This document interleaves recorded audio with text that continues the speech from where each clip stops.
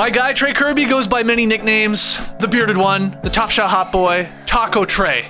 So today, TK, you are going to blind rank some of the greatest nicknames in NBA history. First up, Big Ticket, Kevin Garnett. It's his best nickname, but for me, I was always like, ticket to what? Hmm. I'm giving him a four. Jesus Shuttlesworth, Ray Allen.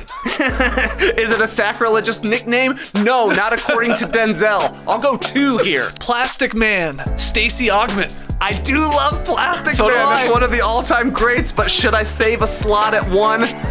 Give me a three for Stacey the Plastic Man Augmon. White Chocolate, Jason Williams. I'm glad I saved the number one spot, because I'm taking it right now. The Glove, Gary Payton. Okay, the glove is really good. the glove is really good. Uh, I would at least go three if I'm being honest, but five is left, so sorry, Gary. There you go. Number one, according to TK, it is White Chocolate. Let's hear from you.